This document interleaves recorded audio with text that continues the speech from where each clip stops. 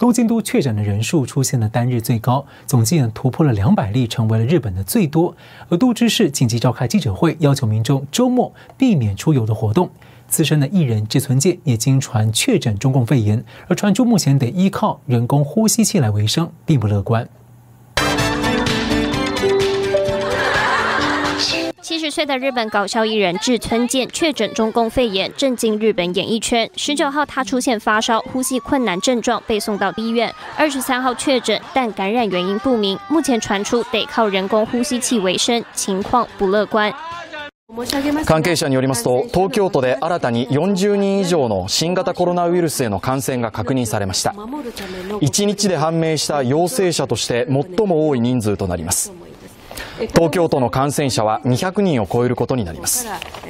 而在东京，疫情升温，单日确诊数达到最高，累计突破两百人，超越北海道，成为全日本最多。东京都知事小池百合子二十四号曾提到，不排除封城。他随后召开紧急记者会，要求民众避免周末出门郊游。日本外交部也首次发出声明，要求民众停止非必要的海外旅行。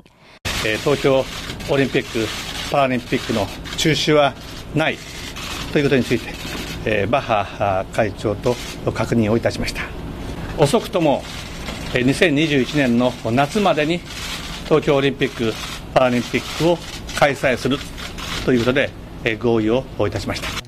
安倍与巴赫通过电话协议，延后冬奥一年。不过，日本东洋经济分析，安倍原先计划要在二零二零年奥运结束后解散众议院，这样在他二零二一年届满前，自民党就能先取得选举优势，他也有机会续战首相之位，或是交棒给党内亲信岸田文雄。如今，随着冬奥的延期，安倍时代的延续也出现变数。